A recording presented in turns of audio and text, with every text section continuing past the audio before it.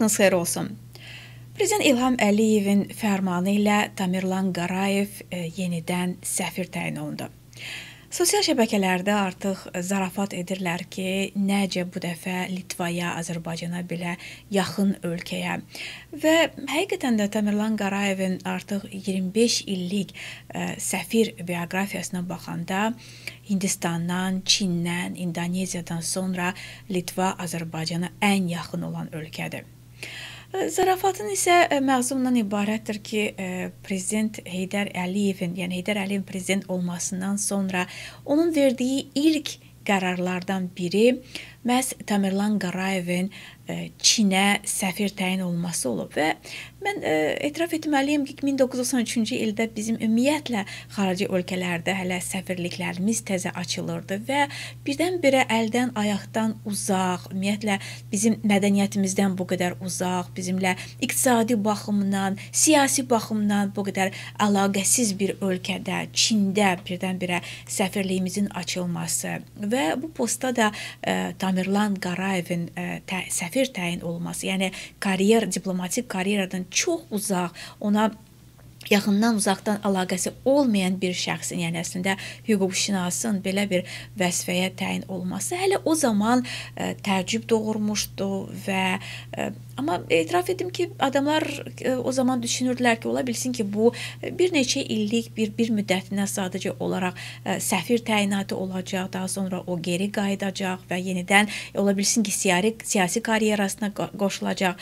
Amma ə, 25 il sonra, yəni bu il Heydər Əliyevin hakimiyyətə gəlməsinin 25 ili tamam oldu və düz 25 ildir ki, Tamerlan Qarayev ölkədən uzaqda xarici ölkələrdə, uzaq ölkələrdə, əl ayaq yetişməyən ölkələrdə ə, e, səfir vəzifəsindədir. Bilirsiniz, mən ə, e, bir bilmirəm baxmısınızmı bu filmə bir Terminal adlı bir komediya filmi var və orada Adamı heç bir ölkəyə qəbul etmirlər və adam elə ə, e, aeroportda ə, e, aylarla gecələməli olur və nəhayət o qədər yorulur ki, deyir ki, mənim üçün heç nəyə fərq etmir. Sadəcə olaraq burax məni, mən öz evimə getmək istəyirəm. Mən bezdim, yoruldum bu həyatdan. Əlbəttə mən bilmirəm Tamerlan Qarayevin ə, e, xarici ölkələrdə səfir kimi qalmasına ra razıdırmı, narazıdırmı? Bunun məsələyə heç bir əslində adiyyatı yoxdur. Sadəcə olaraq ə, Tamerlan Qarayevin bütün bu müddət ərzində yəni baxın söhbət 25 ildən gedir. Əsrin 4də 1 hissəsindən bu qədər Bakıdan kənar saxlanması, yəni jurnalistlərdən kənar saxlanması, mətbuatdan kənar saxlanması ki, nə badə birdən bəlkə bir jurnalist mikrofonla ona yaxınlaşa, bir sual verə, bir xatirələrini soruşa, bir 20 noyabr vertolyot vertolyot qəzasıdır, nağarası qəzası barədə ondan sual verər. Onun o məsələlər barədə bildiklərini soruşar. Əlbəttə ki, siz xatırlayırsınız, daha çox o Tamerlan Qarayevin vertolyota minməsini, minməməsini bir e, səbəb kimi görür adamlar e, ki, nəyə görə o o, mim, o olmadı o vertolyotda. O da olmalı idi o vertolyotda. İndi mən e, sizə bu e, şəkli nümayiş etdirirəm. Bu həqiqətən nadir bir e, fotodur. Bu 1991-ci il noyabrın 20-si e, Qarabağda həlak olan Azərbaycanın yüksək rütbəli məmurlarının e, son toplantısıdır. Ağdamda çəkilib. Mən e, bu şəkli tap tapmaq üçün doğrusu e, çox əziyyət çəkmişəm. Amma baxın bu şəkildə onlar bir yerdədir. Biz onları bir yerdə görürük və adamların da nə üçünsə elə ən çox dilə gətirdiyi də bundan ibarətdir ki, nə oldu yaxşı, bəs hamınız bir yerdə idiniz, e, bu müşavirədə bir yerdə əyləşmişdiniz. Bəs necə oldu ki, onlar hamısı mindilər, getdilər və həlak oldular. Bircə Tamerlan Qarayev oradan sağ çıxdı. Mən ə, e, ədalət naminə deməliyəm ki, mən şəxsən özüm ə, e, yəni burada bir qəbahət görmürəm. Yəni doğrusu doğrudur o özü nə üçün təyyarəyə minməmək üçün hekayəni dəfələrlə dəyişib. Ə, yəni gah Tamerlan Qarayev dediyinə görə İsmət Qayıbov onun qoluna girib və deyib ki, sən getmə, qal. Gah o Tofiq İsmailov misal gətirib nümunə gətirib və deyib ki, o mənə dedi ki, mən mənə çox vacib, təcili bir ə, tapşırıq verdi. Deməli hamımız ə, qapı tərəfə gedəndə bilirsiniz belə bir vəziyyət yarandı nə qədər adam oturmuşdu, adam da çox idi otaqda. Hamı birdən elə bil ki, cumdu qapı tərəfə ki, getsin bir yerdə onlarla. Belə biraz qarışıqlıq kimi idi. Bu zaman Bərşadlı yaxınlaşdı rəhməti Tofiq müəllimə ki, bəs mən xahiş edirəm Tamerlan bəy qalsın. Bu faciə ilə bağlı Tamerlan Qarayevin faciədən sonra ə, e, özünü aparması, davranışı, yol verdiyi ə, e, çox böyük ə, kobud səhvlər əlbəttə ki, bağışlanmazdır. Mən ə, sizə ə, onunla etdiyim bir verilişdən ə, bir hissəni nümayiş etdirmək istəyirəm. Siz özünüz burada deyəsə bir təxribat elementi görürsünüzmü? Yəni hər halda söhbət ə, dövlətin yüksək səviyyəli məmurlarından gedir. Xeyr, bu işin təşəbbüskarı Tofiq müəllim. Tofiq müəllim özü həlak oldu. Bu Tofiq İsmayılovun təşəbbüsüdür və Tofiq İsmayılov özü də həlak oldu. Bilirsiniz, mənim ə, e, Tamerlan Qarayevlə xeyli sayda müsahibəm olub. Mən o zaman gənc müxbir idim və ə, e, açığı mən ə, e, bu vəzifədən də sui-istifadə edirdim. Mən sadəcə olaraq öz ailə üzvümün ə, başına nə gəldiyini özüm dərk etmək istəyirdim və dəfələrlə, dəfələrlə müsahibələr etmişdim, filmlər çəkmişdim. Və ə, Tofiq İsmailov bu versiyanı mən deməliyəm ki, gün birinci gündən deməkdədir. Yəni bülbül kimi bunu təkrar etməkdədir və ə, e, Tofiq İsmailov da təşəbbüskar və Tofiq İsmailov da özü həlak oldu. Bilirsinizmi, bu bəyanatı ağrılı edən bir neçə məqamdır. Əvvəla ə, e, Tamirlan Qarayev sıradan bir şəxs deyil. Onu 20 e, noyabr faciəsindən sonra bu faciəni araşdırmalı olan parlamentin istintaq komissiyasının rəhbəri təyin etmişdilər. Yəni siz ə, e, bu faciəni araşdırmalısınız, həqiqəti üzə çıxartmalısınız ki, əslində nələr baş verib, kim onları qətlə yetirib, kimdir sifarişçi, kimdir havadarlar. Və heç bir istintaq başlamamış Tamirlan Qarayev bülbül kimi bunu təkrar eləyir ki, elə bu Tofiq İsmayılovun təşəbbüsü idi. Tofiq İsmayılov da həlak oldu. Mən hətta e, uzağa gedib onun digər bəyanatlarını da deyə bilərdim. Lakin mən bunu e, bu bəyanatlar o dərəcədə vicdansız, o dərəcədə nankordur ki, mən onları sadəcə olaraq ə, e, təkrar edib bilməyənlər də bilməsini istəmirəm. Bu həqiqətən adamın ürəyinə toxunan, yəni qeyrətinə toxunan bəyanatlardır. Dediyim kimi bu şəxs bu faciəni araşdırmalı olan şəxsdir. Onun əlinin altında kadrlar var idi, e, köməkçilər vardı, istintaqçılar var idi, məhkəmə olan prokurorluq işçiləri var idi. Mən özüm dəfələrlə o cinayət işini görmüşəm və bu qədər məsuliyyətsizcəsinə bu cür ə, e, durub bəyanat vermək və digər tərəfdən də bilirsiniz məsələnin mənəvi tərəfi də var. Mənəvi tərəfi də bu mənəviyyat məsələsidir.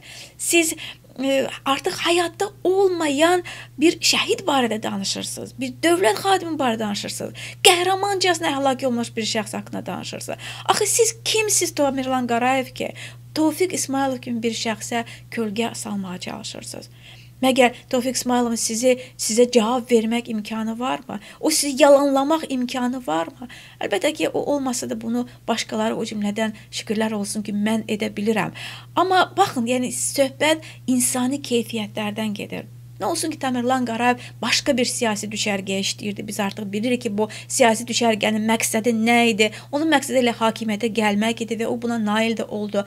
Amma hər halda ortada bir insanlıq var insanlıq. Yəni siz eyni Ələxsus da xarici düşmənin qarşısında ki, burada ermənilər var, ruslar var və onların qarşısında siz Azərbaycan nümayəndə heyətinin nümayəndəsisiz, üzvüsüz və qalxıb yenə də günahı və məsuliyyəti belə bir şəxsin, belə bir dövlət, belə bir qəhrəmanın üstünə atmaq dediyim kimi heç bir etik davranışla e, yaraşmayan bir davranışdır. Və ə, e, dediyim kimi bu həmin o şəxsdir ki, o qara qutunu, həmin o parlament istintaq komissiyasının üzvlərinin biz artıq bilirik ki, hansı üzvlər bunun əleyhinə çıxış ediblər, etiraz ediblər. Onlar deyiblər ki, qara qutu heç yerə göndərilməməlidir. Bizim özümüzdə qalmalıdır. Lakin məhz Tamerlan Qarayevin inadkarlığı ilə qara qutuda Rusiya göndərilib və gedər gəlməzə gedir. Rusiyanın bu gərgi mürəkkəb vəziyyətdəki oynadığı rolu bilə-bilə necə deyirlər, siz quzunu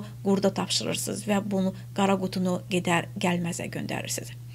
Əlbəttə ki, e, mən düşünürəm ki, Tamerlan Qarayevin 20 noyabr helikopter e, faciəsi ilə bağlı adının dönə-dönə dilə gəlməsi heç də e, təsadüf deyildir. Yəni Hələ nə qədər adamlar bildiklərini demirlər. Onlar ə, e, hələ də ə, e, sükut saxlamağı, bunun üstündən sükutla keçməyə üstünlük verirlər. Lakin ə, e, artıq bu gün bizim qətiyyətlə deyə biləcəyimiz ə, faktlar vardır, deyə tələb edə, edəcəyimiz məsələlər vardır. Bu da ondan ibarətdir ki, Təmirlan Qarayev ən azından ifadə verməli idi istintaqa. Və mən əminəm ki, nə zamansa bu istintaq yenidən ə, bərpa olunacaq. Çünki bu istintaqın qarşısında heç zaman, heç bir vaxt əslində ə, onun sifarişçilərini, onun ə, həyə icra edənlərini tapmaq məqsədi qoyulmayıb. Yəni heç bir zaman belə bir siyasi iradə olmayıb ki, biz 20 noyabr faciəsini həll etməliyik, biz onu törədənləri cəzasına çatdırmalıyıq, ədalətə çatdırmalıyıq, biz dəyişməliyik, mübadilə etməliyik. Yəni belə bir siyasi necə deyirlər, heç axtarılmayıb da onun qatilləri. Amma mən əminəm ki, belə bir istintaq üçün siyasi iradə olarsa, əlbəttə ki, ə, Təmirlan Qarayev ən azından şahid qismində dindirilməlidir, ifadə verilməlidir. Daha sonra isə əlbəttə ki, onun adı ilə bağlı olan ə, versiyalarla da bağlı, ə, güya onun ə, erməniləri helikopterin ermənilər gəlir içərisində, onları vurun, vurandan sonra da onları bir-bir dəneyin kimi ə, ifadələr işlətməsinə dair bu versiyalarda heç şübhəsiz ki, yoxlanmalıdır. Dediyim kimi Təmirlan Qarayev ən azından ə, şahid qismində dindirilməli idi.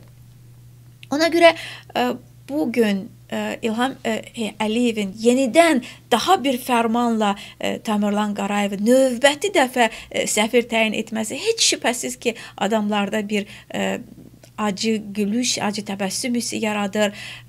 Yəni dediyim kimi Təmirlan Qarayevin 66 yaşı var. Azərbaycan qanunvericiliyinə əsasən 65 yaşında kişilərin artıq pensiya vaxt, pensiya yaşı e, başlayır və biz özümüz də bilirik ki, digər bizim səfirlərimiz o cümlədən Bəxtiyar Vahabzadənin oğlu İsfəndiyar Vahabzadə evdədir. Onun heç 60 yaşı yoxdur. Nəyə görə? Ona görə ki, onun yaşı güya çoxdur. O səfir işləyə bilməz, amma Təmirlan Qarayev 66 yaşında və bundan sonra növbəti dəfə ə, e, səfir ə, e, təyin olunur, yəni pensiya müddətində.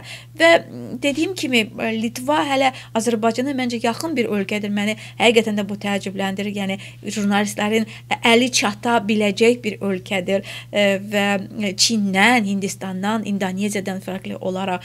Amma e, günü bu gün artıq Bunu qətiyyətlə demək olar ki, Tamerlan Qarayev Azərbaycan tarixində, yəni Azərbaycan əgər öz Guinness olardısa, rekord vurmuş bir şəxsdir. Yəni e, ölkədən, ölkənin səfir vəzifəsini bu cür uzun müddətinə 25 ildən bəri ə, e, icra edən bir şəxsdir ki, e, Tamerlan Qarayevi ömürlük səfir adlandıranlar yəqin ki, ə, haqlıdırlar və nəyə görə bu şəxs bütün bu illər ərzində hansı xidmətlərinə görə 25 ildən bəri səfir səfir olmalıdır və ə, ümumiyyətlə dediyim kimi diplomat olmadığı halda, ə, tamam başqa bir peşənin nümayəndəsi olduğu halda ən əsaslısı nəyə görə o Azərbaycandan belə ə, inadkarlıqla kənar saxlanmaqdadır. Həm Heydər Əliyevin prezidentliyi dövründə dediyim kimi ilk qərarlarından biri məhz Təmirlan Qarayevin Azərbaycandan ə, çıxarılması, uzaq bir ölkəyə səfir göndərilməsi oldu. Lakin bu günü bu gün də elə ə, İlham prezident İlham Əliyevin də növbəti dəfə onu səfir təyin etməsi heç şübhəsiz ki, adamlarda şübhə yaratmaya bilmir. O ki qaldı Tamirlan Qarayevin xidmətlərinə. Ümumiyyətlə Azərbaycanda səfir təyinatında hansı xidmətlərin göz önünə alınması məncə ə, e, xüsusi bir söhbəti mövzusudur. Amma biz vaxtaşırı bir səfir qalmaqalı yaşamaqdayıq. Ya bir səfir ə, e, konyak satır, digəri çaxır biznesi ilə məşğuldur, başqa birisi öz dişlərini düzəltmək üçün dövlətin cibinə, xəzinəsinə girir. Amma Tamerlan Qarayevin xidmətləri başqa qəbildəndir. O onun xidmətləri məhz Əliyev hakimiyyəti qarşısındadır. Hələ özünün illər öncə dediyi kimi, əgər bildiklərimi deyərəmsə, dilim yanar. Odur ki, görünür həm Tamerlan Qarayevin dilinin, həm də hakimiyyətdə oturanların yanmaması üçün onu elə ömürlük səfir kimi saxlamaq qərarı alınıb. Və mən düşünmürəm ki, Əliyevlər hakimiyyəti davam etdikcə Təmirlan Qarayev Azərbaycana qayıdacaq.